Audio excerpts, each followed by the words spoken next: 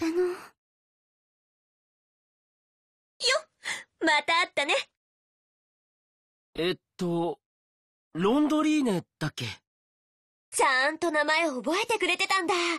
もっと気軽にロディって呼んでよ。君たち、どうしたの？こんなところで。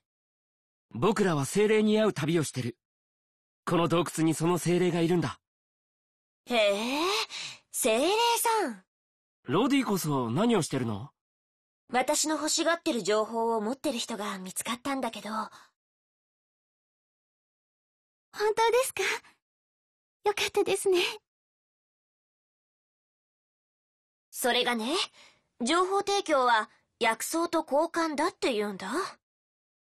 だから、この洞窟にその万能薬の材料をっていうのを探しに来たってわけ。万能薬の材料？ノームのいるこの洞窟にか？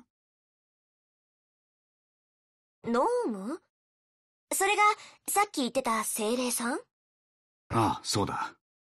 ここって、精霊さんが住み着いてるんだ。まあ、それはともかく。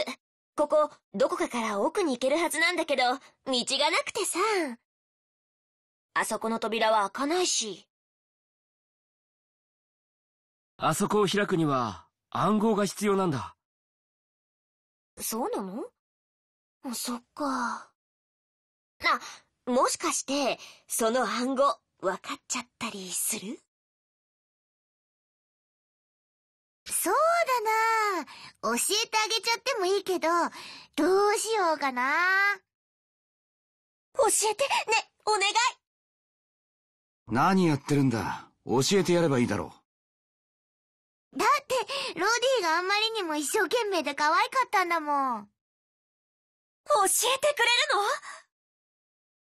るの？あ、じゃあさ、私も君たちと一緒に行っていいかな？もちろんだよ。